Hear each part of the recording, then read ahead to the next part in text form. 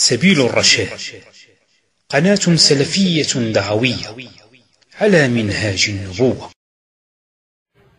وقوله وأن تشركوا بالله ما لم ينزل به سلطانا وحرم أن تعبدوا مع الله غيره وتتقربوا إليه بأي نوع من أنواع العبادات والقربات. كالدعاء والنذر والذبح والخوف والرجاء ونحو ذلك. تقدم التفصيل في الخوف والرجاء أو تقدم التفصيل في الخوف والمحبة ليس الرجاء. وتقدم البيان بيان الفرق بين الدعاء وبين الاستغاثة. من يذكر؟ ما الفرق بين الدعاء وبين الاستغاثة؟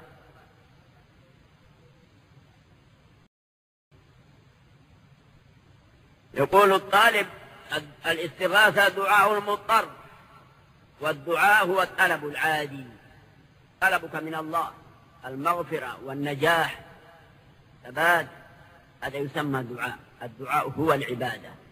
إذا قال النبي عليه الصلاة والسلام الدعاء هو العبادة والدعاء مخ العبادة فما بال الاستغاثة؟ الاستغاثة دعاء العبد المضطر الذي فقد جميع الوسائل المادية إلا أن يجأر باسمه سبحانه ويلتجأ إليه.